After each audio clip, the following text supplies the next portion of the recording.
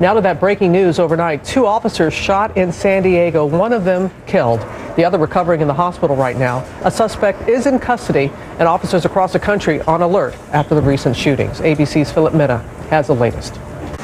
A massive manhunt underway this morning after a San Diego police officer killed and another critically injured overnight. Yeah, we have two officers down. The shooting took place at 11 p.m. as the officers made a routine stop. All right, the officers are working on getting the down victims out of here. The shot is definitely a handgun. SWAT teams and helicopters rush to the scene. The suspect is going to be close by. We responding officers to lock down a perimeter and able to start looking for somebody hiding. One suspect taken into custody. Other possible suspects being sought as residents are urged to stay in their homes. The shooting comes as police on high alert throughout the country following the killing of officers in Dallas and Baton Rouge. We've learned the officer who was killed was a father of two. The other officer is out of surgery and is expected to survive. This morning, a massive search underway for a possible second suspect. George? Okay, Phil, thanks very much. Another flash. One San Diego police officer is dead and another is in the hospital, but he is expected to survive following surgery earlier this morning. The two officers were shot during a traffic stop late last night. CNN's Paul Vercammen is covering this live for us in Los Angeles. Good morning. Good morning, Carol. Let me try to give you the timeline on this according to the San Diego police chief. That's Shelley Zimmerman. Carol, they say that these two officers were responding at about 11 o'clock last night, and all of a sudden, they uh, make the stop, and they must have known something was up immediately because they requested emergency cover.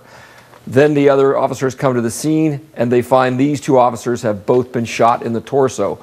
One of those police officers puts the most uh, more seriously shot of the two officers in his vehicle, races him to the hospital, but that officer dies. As you pointed out, the second officer, the police chief tweeting out not long ago that that officer is expected to survive. Exclamation point. There is one suspect in custody. They found him in an open area or a ravine not too far from there. They're not so sure if there is a second shooter or suspect involved very emotional moments today, this morning in San Diego. The police chief, you could see that she was visibly shaken, swallowing hard, and she described what it was like to have to go and knock on the fallen officer's family's door. It's a wife and two children who survived his shooting. Let's listen. There, there's nothing that prepares you to do that. It is extremely difficult. Um, you can imagine